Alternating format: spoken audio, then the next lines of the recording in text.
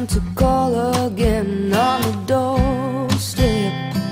Capping their hands, you've emptied all your pockets just to pay the man.